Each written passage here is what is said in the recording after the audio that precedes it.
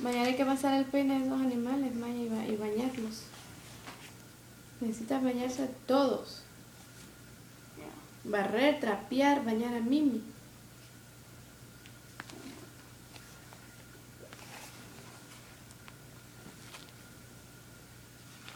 Con solo pasarles el peine y tirarlos en, en el agua con cloro, ayuda bastante.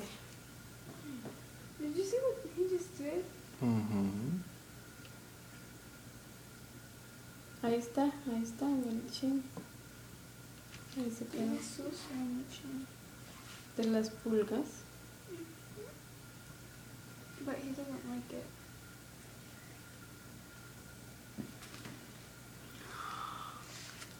Mira, qué jodido. He's heavy. Que se va a coger grande. Ujú. Ya no encuentro este árbol. Genesis, Exodus, Leviticus. 510. Pasa que Dani, cada día tengo menos vista. Y los antiguos, no sé, no me sirven.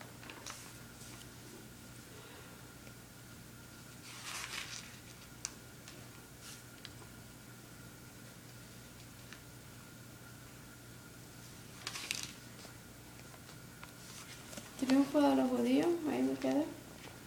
Mira, mamá. ¿Qué número es? Mamá, mira. Nueve. Muy bien. Mira. No, no permita eso que haga. Lo lame, le echa toda la saliva al pobre gato y después lo va a picar las pulgas. No dejes que haga eso. ¿Qué hago? Quítalo. Why? Porque no es gata. Quítalo. Sí es gata. No. Sí es. Quita ese gato de ahí. Pobre gato lo está lamiendo, echándole saliva. Quítalo. Sí, mi amor. Él solo se va a quitar, ¿ya ves? Ay, shit, no pude, como que fuera gata usted. What's wrong with them? ¿Se fue a acostar el niño? Está acostado, me está esperando. Y se van a acostar aquí encima de la almohada esto.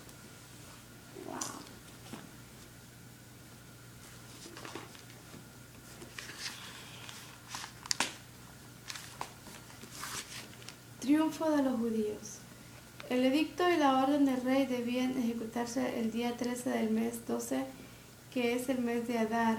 Los enemigos de los judíos esperaban dominarlos ese día, pero ahora se habían invertido los papeles y los judíos dominaban a quienes los odiaban. Ah.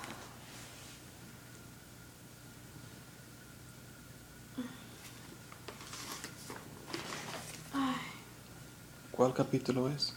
ya el 9 te dije, hombre. Gracias.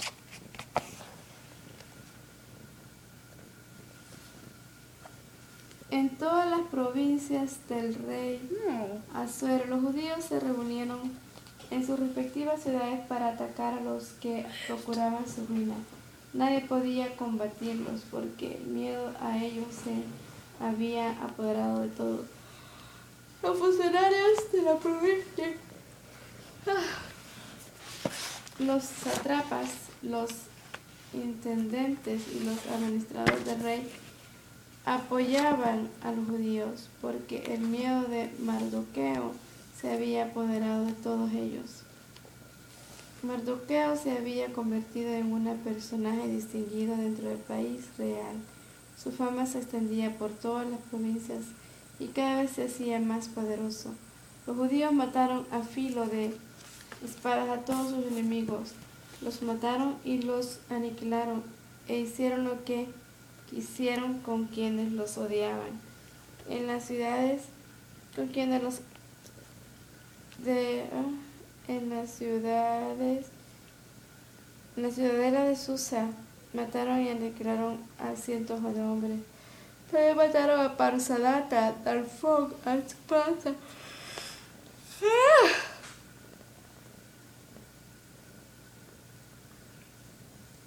Que eran los diez hijos de Baisata, hijos de Amán, hijo de Amedata, el enemigo de los judíos, pero no se apoderaron de sus bienes. Ese mismo día, al enterarse el rey del número de muertos en la ciudadela de Susa, le dijo a la reina Esther, si los dioses han matado y aniquilado a 500 hombres y a los 10 hijos de Amán en la ciudadela de Susa, ¿qué no habrán hecho en el resto de las provincias del reino? Dime, ¿cuál es tu deseo? Y se te concederá. ¿Qué otra petición tienes? Se cumplirá tu deseo. Si a su majestad le parece bien, respondió Esther, concédales permiso a los judíos de Susa para prorrogar hasta mañana el edicto de este día y permita que sean empalados en la estaca de diez hijos de Amán.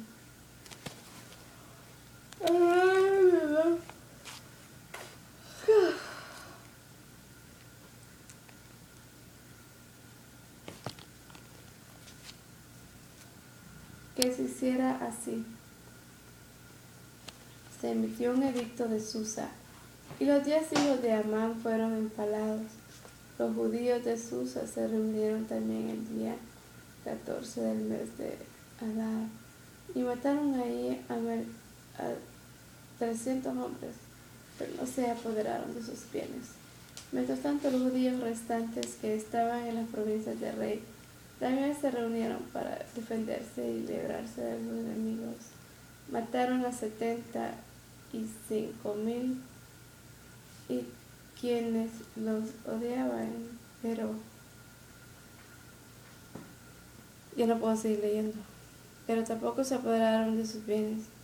Esto sucedió el día 13 del mes de Sadar, el día 14 descansaron y lo celebraron con alegre banquete. Ya no puedo seguir leyendo, tengo sueño. Muy bien, gracias. All.